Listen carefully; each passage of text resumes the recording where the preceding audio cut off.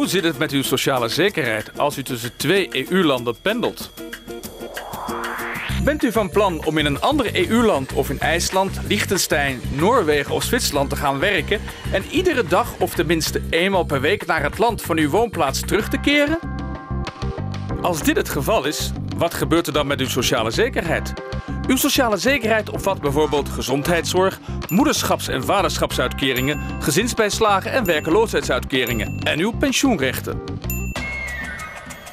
In de eerste plaats herinneren we u aan dat slechts één land tegelijk verantwoordelijk is voor uw sociale zekerheid. En dit is normaal gezien het land waar u werkt en waar u premie betaalt. Neem bijvoorbeeld Michael. Hij is ingenieur. Hij woont in België, maar hij pendelt dagelijks naar zijn werk in Nederland.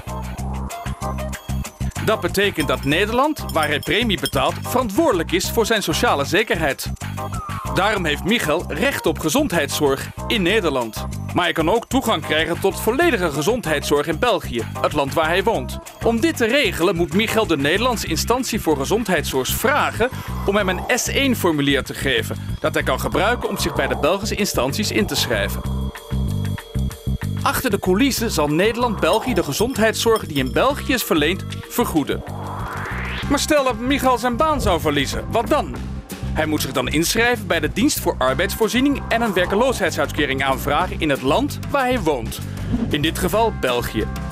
En niet in het land waar hij gewerkt heeft en waar hij premies heeft betaald. De Belgische dienst voor arbeidsvoorziening beslist dan over zijn aanvraag volgens de Belgische regels. Maar houdt daarbij wel rekening met het laatste salaris dat Michael in Nederland verdiende. En indien nodig met de periode waarin Michael in andere EU-landen, plus IJsland, Liechtenstein, Noorwegen of Zwitserland, heeft gewerkt.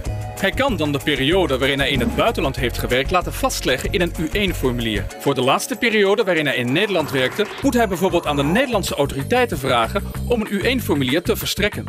Goede nieuws is dat als Michael een baan in Nederland wil zoeken, hij zich ook kan inschrijven bij het Nederlandse arbeidsbureau. Hij moet echter nog steeds aan de Belgische autoriteiten blijven rapporteren, want die zijn nu verantwoordelijk voor zijn sociale zekerheid, inclusief gezondheidszorg, gezinsbijslagen en de werkeloosheidsuitkering als hij daar recht op heeft. Dankzij de coördinatie van de sociale zekerheid in de EU kunt u zich vrij verplaatsen in Europa zonder uw rechten op sociale zekerheid te verliezen. Coördinatie van de sociale zekerheid. Europa, uw speelplaats.